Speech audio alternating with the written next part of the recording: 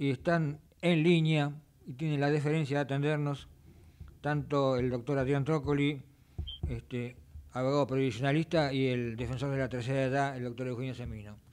Adrián, este, Eugenio, buenas tardes a ambos, gracias por atendernos. ¿Qué tal? Qué gusto estar con ustedes. Buenas tardes a ustedes, Eugenio, siempre un placer. Bueno, a ver, este, arranco contigo porque es un tema para los dos, obviamente, pero ahí eh, tenemos media sanción de la eliminación de, de Fede Vida y ahora va a diputados. Este, la verdad que esto lo hemos charlado, creo, con ustedes varias veces. es, la, fe de vida se, se, supone que si funciona bien el, el registro nacional de las personas, este, eh, eh, la verdad que, que, que, que es un, un, trámite que, no, no, debía haber existido. Mira, habla de... Ah, perdón. No, no, no, por favor, Eugenio. No, no, en realidad, este, me consultaban algunos colegas tuyos, Mario. En realidad eh, estamos viendo dos absurdos. Eh, la fe de vida cuando no, no existía la informática y había que corroborar para que, porque me tocó vivirlo a través de muchos años, cuando no se comunicaban las defunciones, eh, tardaba tiempo, y había inescrupulosos del mismo ANSES que arreglaban que se cobre a través de un tercero y demás durante meses ese haber de un fallecido.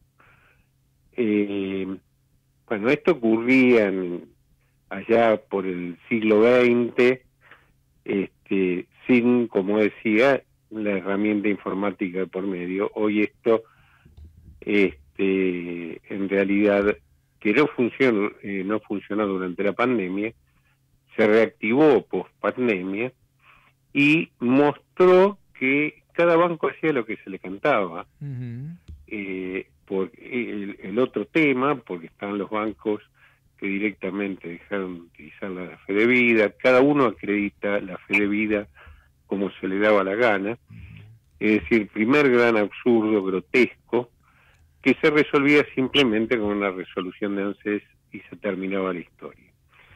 Y muestra que un Congreso de la Nación, que no funciona hace un año, se reúne y logra consensos para votar estas cuestiones que son por lo menos neutras, es decir, que no dicen absolutamente nada, mientras que podría abrir opinión sobre qué pasa con el fondo de garantía, los bonos, los falsos avales a los cuales este recurre el ministro de Economía, y cómo se mueren de hambre los jubilados en Argentina, digo, producto de todo esto. Adrián.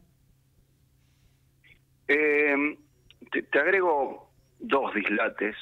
Eh, como dice Eugenio, es evidente que esto no tenía ninguna necesidad de salir por el Congreso, digo, porque así como se sacó por resolución de ANSES eh, durante la cuarentena y se extendió por casi dos años, y se volvió a imponer ahora también por resolución de ANSES, perfectamente se podía quitar.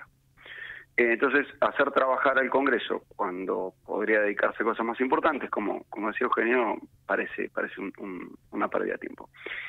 Eh, esto muestra además eh, que la ANSES no está preocupada por hacer las cosas que tiene que hacer, las básicas, porque la ANSES es administradora, es administración nacional, y, esto es no, no no es una cuestión de dar beneficios, de, de calcular el haber jubilatorio, de movilidad o cosas que sí tiene que hacer el Congreso. Es simplemente dar un poquito de administración, hacer la administración, la vida del jubilado un poco más fácil. Bueno, evidentemente ANSES está en otra cosa. Eh, se tiene que meter en el Congreso. este es, un, aspecto. Y el segundo es un detalle técnico menor. El Banco Nación Argentina va a tener que romper la ley, si sale tal cual como está, porque es el encargado de pagarle a los eh, jubilados en el exterior. Y en el exterior el Estado argentino no tiene absolutamente ningún control de quién fallece y quién no fallece, y se deposita la plata directamente en una, en una cuenta. Entonces, podría, si, si seguimos la lógica de, de este por ahora proyecto con media, sanción, decir que me mudo a Uruguay, me muero y durante 20 años nadie denuncia mi, mi fallecimiento y se acumula plata en la, en la, cuenta. esto es un disparate y es otro, digo. Y así está el texto de la ley, dice que está absolutamente prohibido para los bancos pedir ninguna clase de fe de vida, cosa que el, Banco Nacional Argentina al día de hoy, pago, sucursal pago en el exterior, este, está pidiendo y lo va a seguir haciendo porque no no no no van a caer en, no defender un poquito el erario público en pagarle a cualquiera eh, Así que eso supongo que o van a modificar la ley o va a salir una reglamentación en contra de la ley o directamente el Banco Nación la va a ignorar. Pero demuestra la, poca calidad, el poco nivel de trabajo, el poco tiempo de trabajo que le dedican eh, nuestros señores legisladores a algo que tiene dos artículos. Podían escribir bien, ¿no? Se agregaba para los que vivan con residencia en el país, tres palabras, ni eso. Pero bueno, eh, sí, es una locura y muestra además eh, que ANSES no está en las cosas importantes, no solo el, Poder Legislativo. Eh, ahí este,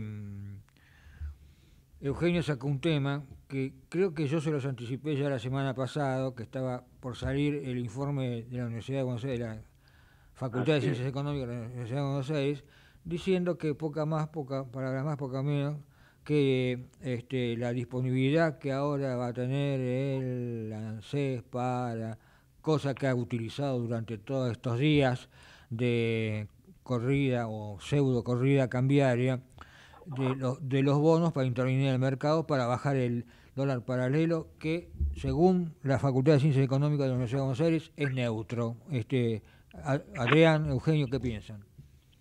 Sí, mira, eh, Creo que se mezclan varias cosas. Primero es un informe, como lo hablábamos días pasados, pedido a posteriori de dictar la medida. Una cosa bastante grotesca, por lo menos. Segundo, el informe en sí mismo, eh, tal cual lo señalabas, es neutro, no es un aval. El término aval, en el único lugar que está, es en el comunicado de prensa del Ministerio de Economía. Eh, más allá que uno de los dos firmantes eh, salió a aclarar esto, y precisamente el firmante salió a aclarar que no se trata de un aval y que en realidad bueno hay que analizar los marcos de la macroeconomía del futuro, este, cosa que es improbable poder en ese sentido emitir opinión al día de hoy, eh, es el colega de Matías Tombolini, aquel que no recibió a los jubilados porque tenía que recibir a los kiosqueros este, en el mes de noviembre del año pasado y que acaba de nombrar nuevamente a, su señora esposa este, como funcionaria una vez más, una vez más, este, en medio de la, de, la corrida cambiaria, bueno, o de la situación que se está viviendo. En realidad lo que nos está mostrando es la, impunidad eh, de cómo en realidad eh, tratan o nos tratan a los ciudadanos argentinos y realmente esto amerita porque lo habíamos hecho bastante antes de, tema del fondo y demás, ratificar la pedida, el, y hoy lo hemos hecho, lo hemos formalizado, el pedido de renuncia de los señores Massa, Rubinstein y Tombolini, este, porque directamente, más allá de la opinión de la cónyuge del ministro, eh, no es que eh, viene el diluvio, que finaliza todo, si el ministro se va o si lo van o si lo fueran, sino que el, ministro ya hoy es responsable no de lo que va a venir, sino de lo que está haciendo, es destruir la economía y la vida de 8 millones de jubilados, pensionados y personas con discapacidad, ¿no es cierto? Adrián. ¿Qué te puedo agregar? Yo mm, este, me parece que vale la pena simplemente recordar lo que lo que hablamos hace creo que 15 días o, o 20 antes del aval, no aval y criterio de la, de la UBA. Eh, nunca se utilizó el Fondo de Garantía de Sustentabilidad para pagar los jubilados. Hoy los jubilados tienen un atraso de una quita del 30-32% y, y después de la inflación de marzo este, no, no tengo ninguna esperanza de, eh, de la medición oficial, ¿no? Estamos hablando de que números que, que el, gobierno conoce, ¿no? No, tenemos que andar. Eh, que decir que no, tengo ninguna duda que, que esto va a seguir subiendo, que la que la inflación va a seguir el rumbo que tiene, nada más, no es, es, imparable por lo menos en el, corto plazo. Entonces, de vuelta, los jubilados que cobran atrasados con respecto a la jubilación, que son aquellos que, que, aportaron, ¿eh? los que hicieron el esfuerzo contributivo, porque los otros que entran por la moratoria tienen tienen algún algún bonito, alguna cosa que no alcanza, por supuesto que no alcanza, pero es un es un plus. Eh, son los que más perdieron. Entonces, eh, el Fondo de Garantía de Sustentabilidad, en vez de utilizarse para pagarle a los jubilados, se utiliza para otra cosa. Como siempre, eh, Guzmán lo hizo el año pasado, lo Massa lo está haciendo ahora, que además hay, hay un sabor muy amargo en todo esto, fuera de si corresponde, no corresponde, si los están maltratando de vuelta a los jubilados, quién está pagando, a ver, los que están pagando el, el, destrato, los que están pagando la inflación, son los jubilados. Los que están pagando los, los pesos, los billetes de a mil que vienen de afuera en dólares, son los jubilados. Eh, una ridiculez importante. Eh, que no le, no le suben la jubilación como corresponde. Ahora, eh, eh si esto tuviera algún éxito, si a mí me dijeran, bueno, nos ajustamos de vuelta el cinturón, pero mañana tenemos una inflación del 0,8%, el dólar la relación con el peso, el, peso se apreció o algo por el estilo. Pero hace un año, ¿no? Que le declararon la guerra a la inflación. Bueno, Así el resultado es nefasto y siguen con la misma receta de vuelta pagando las cosas a los jubilados. A mí me encantaría que digan algo en el medio, mira, ya me conformo con cualquier cosa, le pagamos lo que le debemos a los que aportaron, pero este, rifamos el fondo de garantía para pagarle a ellos y para bajar la inflación. Bueno, algo, algo, algún efecto eh, tendría el sacrificio, pero la verdad es que eh, para batallas perdidas parece, parece muy grosero. Y justamente nos, encontramos hace una semana en vísperas de conocerse el 7,7% y ahora ya, según la consultora de Ferreres, eh, en la primera quincena de abril estamos yendo en el mismo ritmo, o sea, no, no, no, no baja el ritmo, o sea que este, cuando en junio ¿no? se va a conocer el próximo ajuste, este, creo que todos los cálculos que presentamos, recordarás bien este Adrián la semana pasada en pantalla, ya tenés que comenzar a rehacer todo eso, ¿no? Lo podemos seguir midiendo en dólares y creo que va a dar lo mismo, con un dólar a 4.40.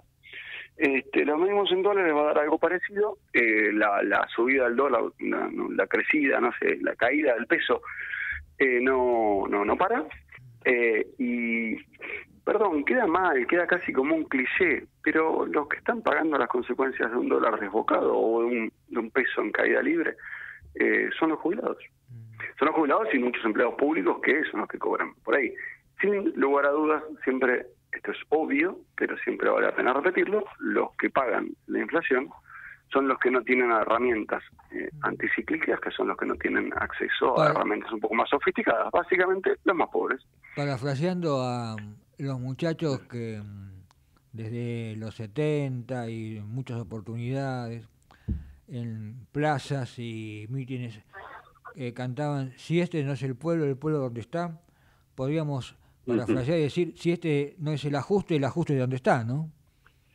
Sí, y el ajuste está sobre los sectores más frágiles, ¿no? Fíjense que las CGT, los líderes, las CGT, que se ve que una vez más llegan hasta la puerta del cementerio. Ah, no, Estaba, eh, estabas escuchando el programa. No, estabas escuchando el programa. Lo acabo de comentar con Carlos Germano, como muchos, ah, lo, acompañan, no, hasta la puerta del infierno, dije yo, pero no entran al infierno con, con los gobiernos. Y recordé, ¿sabes qué? El paro del 7 y 8 de junio, julio de 1975 que la CGT le hizo a Isabel Perón. Así es. Bueno, y los paros de Gualdini, los nueve paros, etcétera, etcétera, etcétera. Pero vos fíjate que tan siquiera mencionan a los jubilados, que son trabajadores jubilados, ¿no? Así es. en, la posible crisis social, ¿no? Es decir, es como... Disolución social ahora... Eh, eh, eso, es lo que trascendió, estamos esperando el comunicado. Ajá. Sí, bueno. sí. Bueno, Eugenio... Estamos, este, posiblemente estén planeando una huelga general mm, mm. para el 11 de diciembre. bueno, bueno, Adrián, Eugenio, muchas gracias por habernos acompañado, como de costumbre. Un abrazo grande, lo mejor para ustedes. ¿eh? Igualmente. gracias a ustedes, saludos. Chao, un abrazo, Adrián, hasta luego.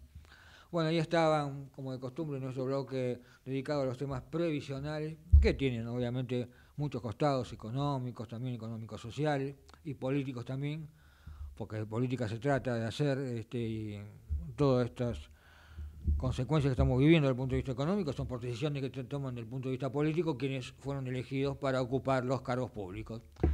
Eh, bueno, eran el doctor Eugenio Semino y el doctor Adrián Trócoli, defensor de la tercera edad y abogado profesionalista, y no estamos